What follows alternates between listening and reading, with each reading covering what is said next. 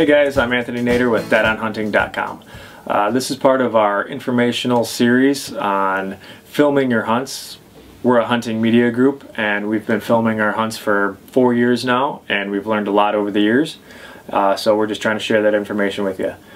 What I'd like to talk to you today is differences in lenses. These are for DSLR cameras. Uh, all the cameras we have are Canon, uh, so all the lenses will be Canon compatible. Um, if you're going to buy a DSLR camera for hunting, um, it's pretty much going to be for like B-roll footage, you know, secondary stuff, um, which gives you a really great look. All of the hunting shows are doing it now. It's a it's a really functional camera, the DSLRs, uh, and they range greatly in price. You can also use it for filming your hunt. It's a little bit difficult because it doesn't autofocus like how a standard video camera would, but you can get a great look and it's a great starter camera. Um, it's also a great camera to have when you've got a lot of money and you know you're looking to get a high-end camera. So when you generally buy a Canon, it'll come stock with two different lenses. It's going to have this uh, 18 to 135 millimeter, and that's a 3.5 to 5.6 f-stop. Um, there's this one, and then also it would have uh, an 18 to 55 millimeter, which just means it won't zoom out quite as far. I think this one is better um, for starting out, uh, just because you can zoom out you know a little bit further. It's a it's a little bit more expensive, but um, either would be fine, you know, with your first camera. But this is, you know, the number one lens that I think that you need to have. Um, the functions on it, uh, you've got your focus ring up front here. Um, and then your zoom right here, the big, uh, also right here you've got your autofocus and manual focus. You should pretty much always be in manual focus um, because auto focusing, you know, with with the camera's capabilities, it doesn't look good, you know, and it also sounds terrible when you're filming. Um, now, as far as pictures go, you can autofocus, you know, that's fine. Um, but when filming, you definitely want to be in manual. Um, and then this lens also has image stabilization, uh, or IS, uh, as it always says on the lens. So you want to make sure that that's always on. Don't ever have it off. And that's really important to have on all lenses when you're uh, when you're filming. Um, this lens here doesn't have image stabilization, right? Um, it's just a 75 to 300 millimeter, um, and this is really only good for taking pictures. You would never want to film with the lens that doesn't have image stabilization because it would just be really shaky. There's actually uh, functions inside the lens that will help stabilize your footage.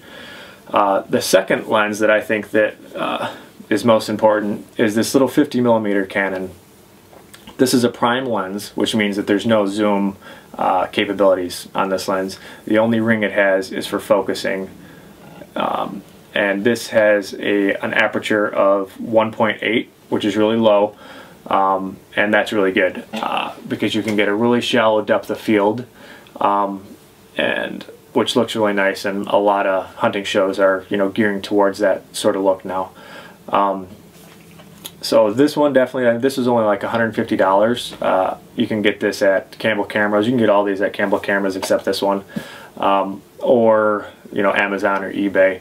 But this one definitely, I mean, if, if you can pretty much put this lens on there, not for not for hunting, but just for filming secondary stuff, and never take it off. Just you know, leave it on. The only thing that you have to learn is you know how close to get to your subject.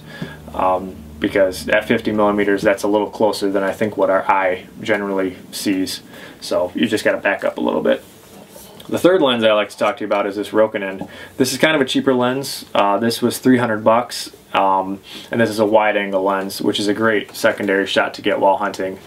Um, you know, you can get some great footage, some great shots with this. Um, this is also, it is a prime lens, and this is a 2.8 14 millimeter.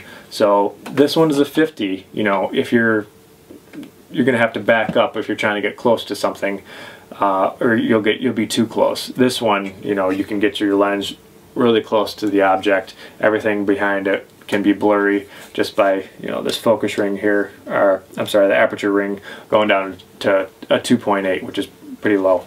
So this is a nice lens to have. Um, any wide angle lens, I mean, you get a Canon one, you're going to be spending a lot more money, but Uh, those are the, the three different lens types that I think that are, are great for uh, filming your hunt. What we'll show you now is uh, a different shot that we've got with kind of the benefit of using each one of these lens, the 18 to 135, the 50 millimeter prime, and then the wide angle uh, 14 millimeter prime.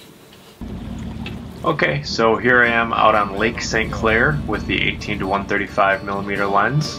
Uh, just zooming in on this rod and reel and doing a little bit of rack focusing. Uh, get right from the rod down to the tip. And here we are uh, with the big catch of the day, 51 inch muskie. And moving on to the trophy shot. What a fish. And this is the 50 millimeter prime lens. Uh, we're doing a little bit of turkey hunting here and I'm just pulling back in and focusing on the LCD screen of the big camera. Kind of a cool shot. And three guys in a turkey blind means you're getting a pretty tight shot with a 50 millimeter lens. And last but not least, we have our 14 millimeter super wide angle lens. And we're just making some venison sausage here before, during, and after. And doesn't that look good? Filming and hunting. Filming and hunting. Gotta love it.